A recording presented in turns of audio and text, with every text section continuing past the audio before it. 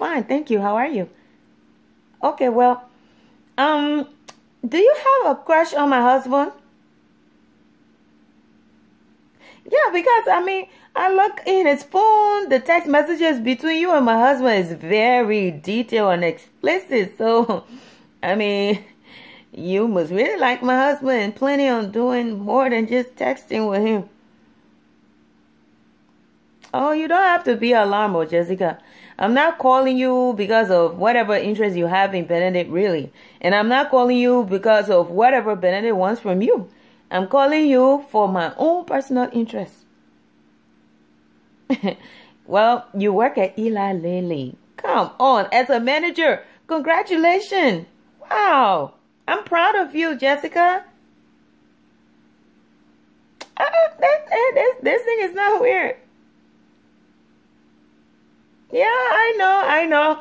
But anyways, you know, my husband, he gets on my nerves sometimes, okay? He gets on my last nerve, okay? But the things he do, the side chick he pick, I feel like he do it. He, he does it in my best interest and sometimes, you know, because for him to come to Eli Lilly and strike your direction and you are manager over there and he know good and well I'm looking for a job, it was just like, wow, it was such a blessing to, you know, and, as for me, I stay on top of my game, you know. And I like the way he do he do his thing. He doing his thing. So I'm calling you because I need a job. Can you give me a job? I'm a graphic and web designer. I know you're just a manager though, but it seems like you've been working with them for the past 16 years. So I know you know everybody in the HR department. So you can make the connections I need to get a job, Tracy.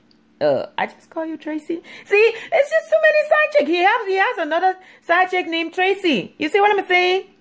But no, don't worry about it, my husband. All he talks about you is all he talks about is you, Jessica. Don't worry about Tracy.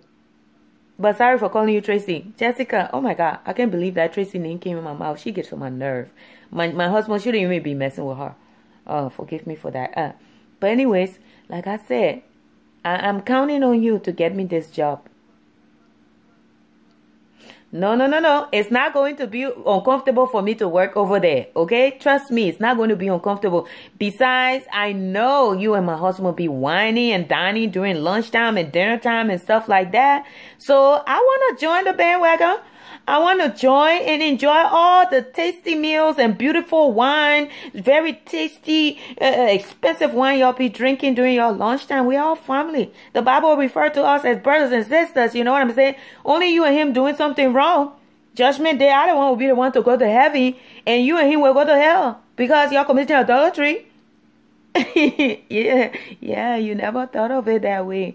But you know, let me not let let's not even go there. That's not my point. So trust me, I'm not going to be uncomfortable over there at all. I need a job. Jessica, let's focus on getting me the job, okay? Anything else, maybe you will be uncomfortable, but trust me, I will help you. You can lean on me. I will help to support you to not feel uncomfortable with me. You will not feel uncomfortable. I will treat you just like a sister and a very close friend.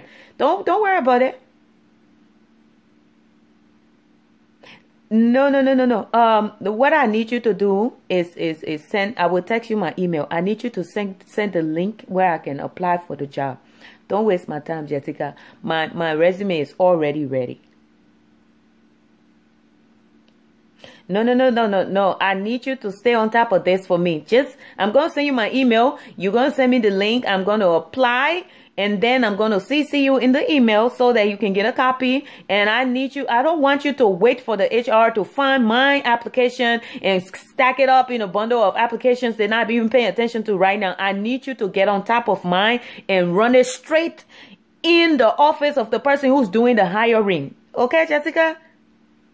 Come on now. I, I, you're messing with my husband and you're trying to make this complicated. You should be very humble right now and getting me this job. I know you can. I trust you. I believe that you can get me this job. So that's what I, that's what I need you to do. When you finally receive my application, I want you to run it right in the nostrils of the person who can hire and make sure I get this job. Okay?